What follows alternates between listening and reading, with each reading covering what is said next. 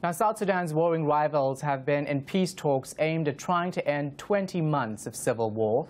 President Salva Kiir and Rebel Chief, uh, Rebel Chief Riek Machar met alongside regional presidents in Ethiopia.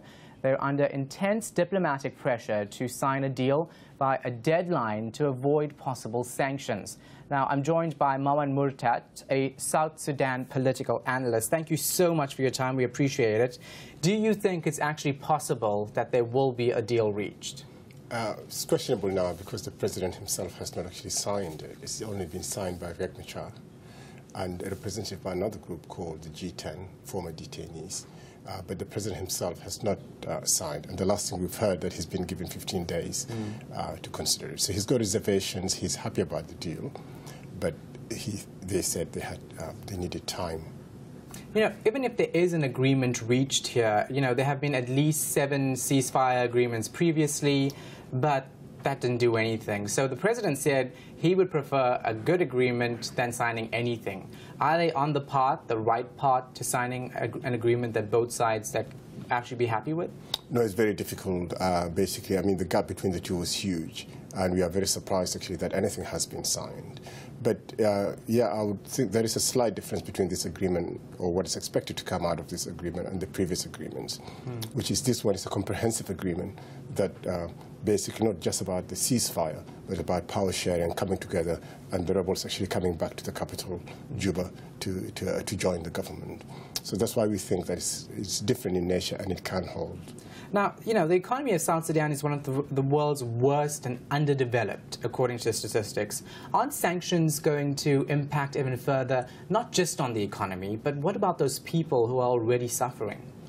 That's a big question. There have been a lot of oppo opposition against the idea of sanctions. But the justification by the United Nations and, people, and, and, other people who are pushing for the, for the sanctions is that they will be targeted to, against individuals like senior political leaders and, and, and, military commanders. And therefore, they are claiming that it's not going to affect uh, the ordinary people. But that's actually questionable. Yeah. Now, I mean, it is the youngest country in the world, yet four years into it, thousands of people have been killed, two million displaced. Tell us about the situation on the ground. Uh, it's desperate uh, is quieting down compared to the situation before. But the economy itself is not performing. It's been affected by the war. One of the oil um, uh, wells has been shut down. So that's really affected the economy. Also, the slide in the oil prices has also affected the country. So even the areas that are not affected directly by the war or the violence are suffering because of trade and food stuff and med medicines and all the stuff they need. Mm. Uh, actually, it's not getting there uh, easily. So it is, it is a grim situation. That's why this peace is really needed. Now, the one thing that many people at home might be asking if they don't know this uh, situation properly and the backstory is why should a government who was elected officially have to negotiate for transitional power with a rebel leader?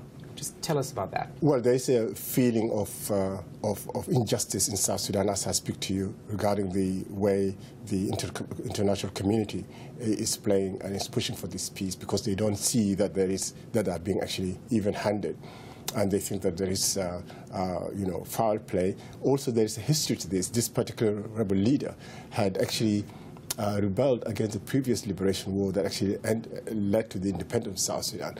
And out of the 20 years of liberation war, he was actually fighting against the South Sudanese rebels, the, the current leaders yeah. of the SPLM, allying with Khartoum. So because of just checkered history, there is uh, a lot of bitterness, and people are hesitating, really, should we really agree again? Because three years down the line, we might find ourselves exactly in the same place again. So if you look at people on the ground, who do you think they would rather have as president? At the moment, obviously, I mean, the, the, the, rebel leader has no chance of winning. But uh, there is an element to this, it's an ethnic element to this. For his supporters, he is important, although mm. they are a minority uh, compared to the rest of the country. All right, thanks very much, uh, Mawan Muortat, a South Sudan political analyst. We appreciate your time.